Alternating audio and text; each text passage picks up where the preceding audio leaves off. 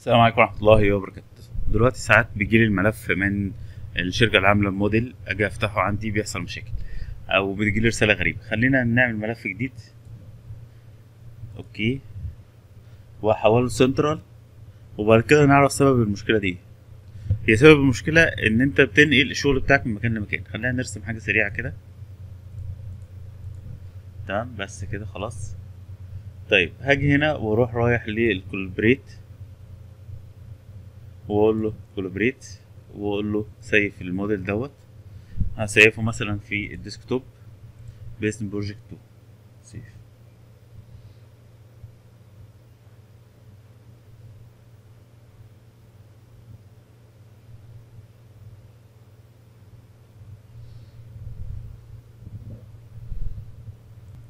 وبعد كده بتجيلي الرسالة ديت بيقول لي أنت عايز تشتغل بقى على ال network ولا على BIM 360 BIM 360 بيكون شاري حساب على BIM 360 ولازم يكون عندي النت قوي. وبتبقى مفيدة جدا لو أنت شغال على أكتر من دولة. طيب أنا أختار الاختيار الأولاني وهو ان أنا أشتغل ك network. تمام؟ بس كده خلاص. أنت لو جيت هنا هتلاقي ال workset اللي موجودة طيب. فرض إن أنا قفلت الملف دوت نعمله save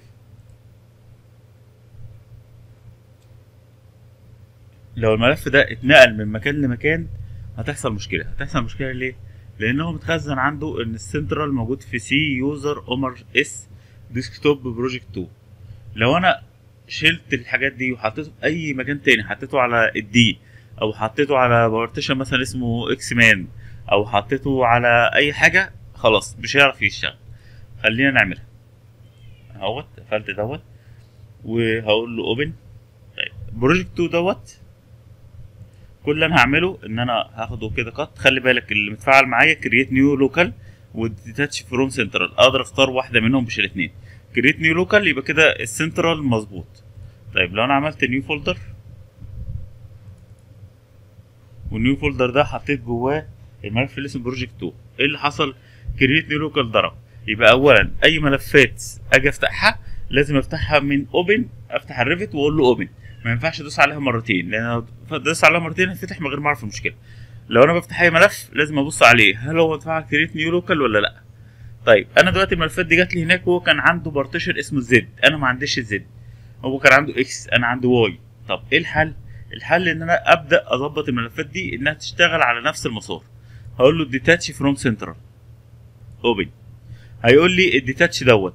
هل أنت عايز تحافظ على ال workset ولا عايز تلغي ال workset لو حافظت على ال workset يبقى لازم هيسيف سنترال لو قلت له إلغي ال workset discard workset detach and discard workset كده الملف هيبقى ملف عادي خالص. واحد بس اللي اشتغل عليه ما ينفعش أكتر من شخص.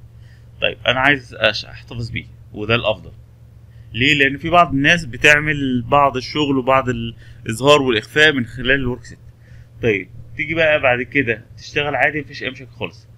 تيجي تبص هنا تلاقي إن الجديد ال owner الجديد اللي هو أنت هو المالك لو لو الملف كان جاي من هناك مش معمول له آه مش معمول له relinquish في لازم لما أخلص شغل وأبعت شغل حد أعمل له relinquish فلو أنا عملت اللي هي ال detach ديت خلاص يبقى أنا ال owner لكل حاجة.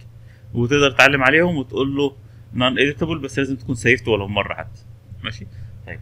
أنا هقول له دلوقتي save ولازم أدخل في ال option وهتلاقي دي متعلم عليها اوتوماتيك بس لازم تتأكد إن هو يعمل لك سنترال لأن لو أنت لأي سبب من الأسباب ما علمتش عليها تمام؟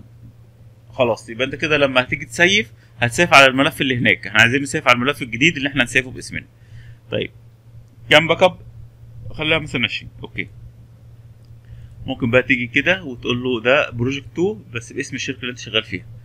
الشركة الجديدة بحيث يبقى معاك القديم ومعاك الجديد. هسميها مثلا إيه؟ X تمام؟ كده حصل إيه؟ كده يعمل لي ملف تاني أقدر أسيف وأقدر أعمل عليه شغل. طيب save. تمام؟ كده لما تيجي تشتغل هيشتغل بدون أي مشاكل خالص. طيب خلينا نقفل. وأقول open